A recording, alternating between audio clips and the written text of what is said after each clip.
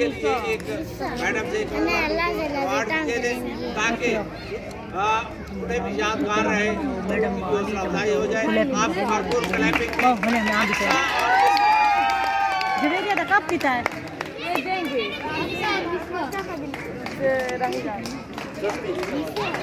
रहेगा